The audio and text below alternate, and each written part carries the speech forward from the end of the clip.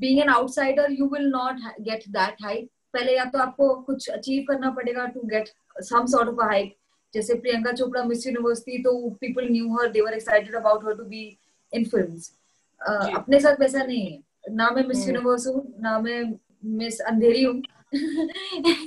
मैं कल ही मिस फातिमा हूँ।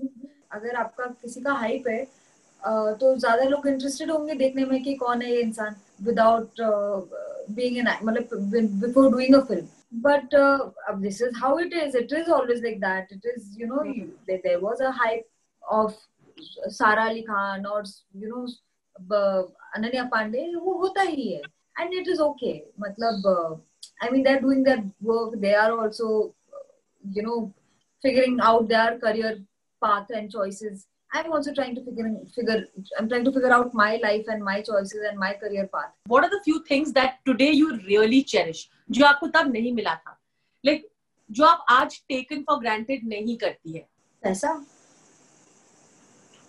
travel appreciating money is very important i think uh, we there are a lot of people who say कि पैसे के बारे में मत सोचो सिर्फ़ जी लो hmm. और यू नो ये वो you know what living is पर भाई गुर्बत में आप कुछ डिसीज़न मेकिंग कुछ नहीं कर पाओगे. When it comes to surviving you will have to survive so I think it is important to understand the value of money it is really important to understand and not be judgmental about these things when other people are very conscious about they are you know there are people who just want to make money because they want to make their life easy because they have a certain lifestyle or they just want to be secure so i don't think we should be judgmental this is what i feel for someone like you who's also you know idealistic अपने ideals को रखते हुए काम करना या brands को endorse करना क्या आपके लिए जरूरी होता है और कितना कर पाई है आप like is that a constant struggle with you definitely and i think i've up,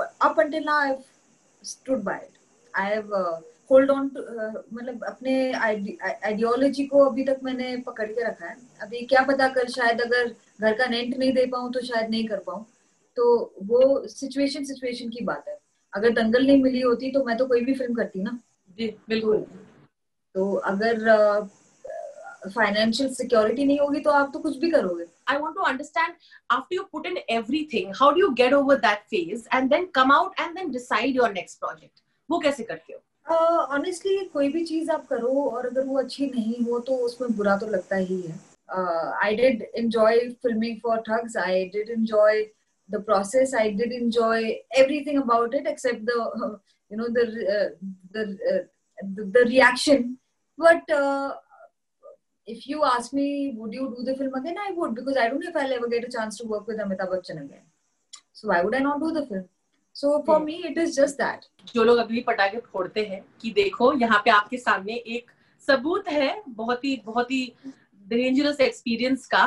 But obviously you I am sure you want all of them to you know not to burst crackers and to like right now the environment is such a important thing right like waste of एक तो noise pollution होता है सारे animals परेशान होते हैं। ऊपर से इतना पोल्यूशन होता है क्या करना है? मतलब दिए जलाओ अपने फ्रेंड्स के साथ सेलिब्रेट करो पटाखे फोड़ने से क्या होगा?